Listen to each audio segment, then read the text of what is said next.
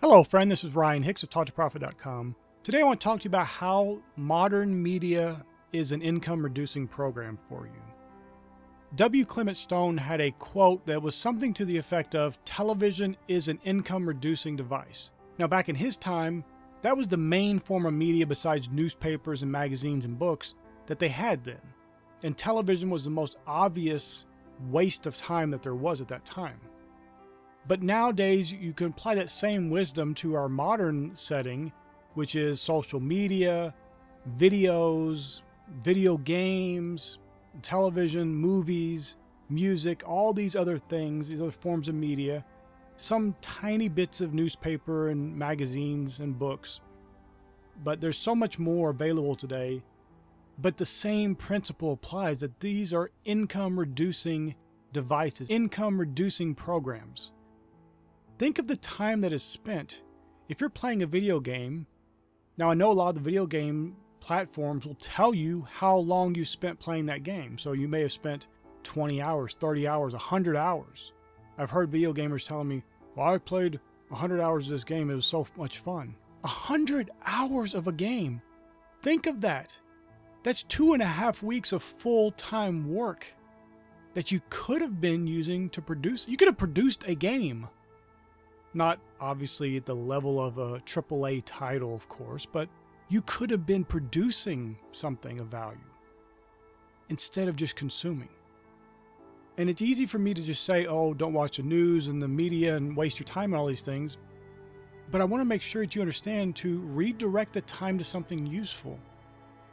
And I think because many people don't have that outlet of something useful that they're putting their time toward, they're just defaulting to what the world teaches, what they were taught as kids, probably, because so many people raise their children, they give them a tablet or a phone or a video game system to babysit them, basically.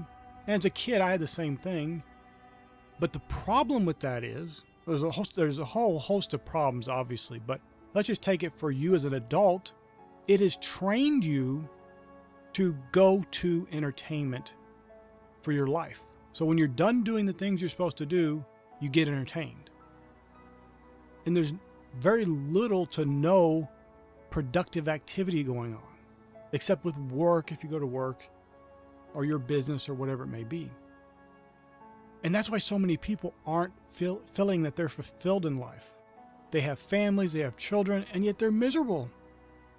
But it's because they don't have that outlet. Their, their time is spent on fruitless endeavors instead of being invested into productive endeavors, things that make products and services and things that are beneficial to the world, that provide value to the world. And I think one of the issues is people think it has to be something big and major, curing cancer, something like that. Otherwise, it's not worth doing. But that's just not true. Even if you're producing something of little value, so let's say you're painting a painting, and most people aren't going to like it, that's still thousands of times more valuable than just setting down and binge watching a television series or playing five hours of a video game. This should be very obvious, readily apparent, but it's not. Because people have just been taught and they're in this rut and they don't even, it's not even a thought in their mind that, wait, I could be doing something productive. Whatever that may be. Obviously, painting is not for everybody. Writing poetry, writing a book, creating a course, going and teaching someone who doesn't know how to read, helping with literacy, whatever it may be, volunteering somewhere, volunteering at an animal shelter, whatever it may be. There's something productive you can be doing with your time that's going to give you way more enjoyment and blessing and fulfillment than all these time wasting activities that not only waste your time, they reduce your income. Now, if you, let's say, for example, you're a video game player, I want you to really just get a piece of paper or open a note taking app in, on your phone or tablet or whatever it may be and just calculate how much time you spent on video games, for example, or movies. Calculate that time and then really ponder what could I put this time toward that would be productive, that would be useful to the world. I'm not talking about just going and working more hours every day. although you could do that, maybe you should do that. But there are creative endeavors you could be doing that would give you far more benefit and increase your income. Now, maybe that painting you do, as an example, isn't going to sell. No one's going to buy it. It's not going to make you any money. It costs you money from the paint and the canvas and everything. But doing that compared to taking in the propaganda and the delusions of the modern media is going to help increase your income. You're going to focus better. You're going to be better equipped to be the successful person you're meant to be. If you go with the same brain rotting media and waste your time on it, you're going to have the same effects everybody else is getting from it, where they're just buying whatever they're told.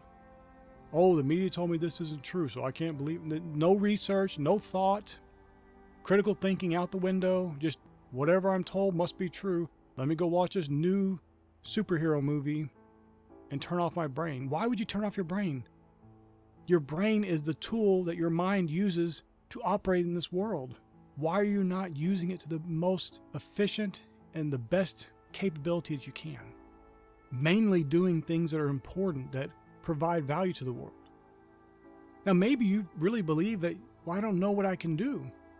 Is there anything? You may have to really stretch on this to really think and ponder. Is there anything that you've thought about doing? It could be playing the piano, it doesn't matter what it is. But those kind of things work out to your favor. Even if you can't see a monetization plan for that right here and now, I guarantee you it works to better you and it will increase your income. But no, watching movies and television playing video games and watching videos and all this kind of stuff is not going to increase your income. It's going to decrease it. It's going to waste and cost you valuable time, which is way more important than the money. And in the end, you'll be even worse off. And you're not going to feel better. You may think, oh, I feel better when I binge watch these shows or whatever, or play video games for hours. But you really don't. That's a covering, it turns your brain off. It is something that is just a band aid covering up the illness. But the solution is to rise up and be like God. Create like He does in your finite form, but be creative, be value producing, and be a producer in this world, not just a consumer.